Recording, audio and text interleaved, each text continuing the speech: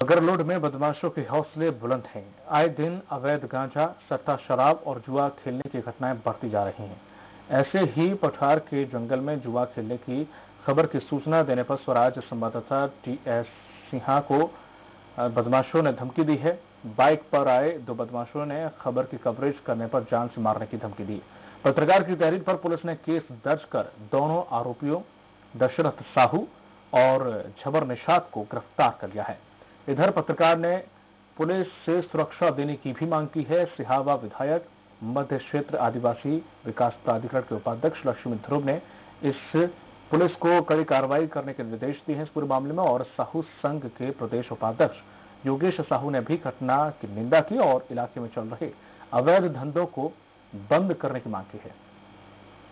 मगरलोड क्षेत्र के तोमरलाल सिन्हा, आवेदक, उनकी ओर से एक रिपोर्ट दर्ज कराई गई है।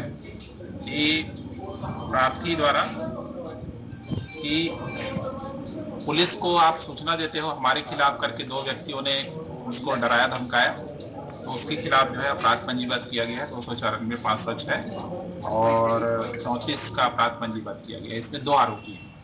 थाना प्रभारी ने अपराध दर्ज कर लिया है और विधिवत कार्रवाई की है। इसके साथ से इस बारे में चर्चा की है। और क्षेत्र में शांति व्यवस्था बनाए रखने के लिए पुलिस के जितने भी यहाँ पर अधिकारी मौजूद थे, उससे भी मैंने चर्चा की है कि किसी भी प्रकार से अराजकता नहीं होना चाहिए, शांति व्यवस्था बराबर बनी रहना चाहिए। और इस बारे में डी से भी मेरी बात हुई एस साहब से भी।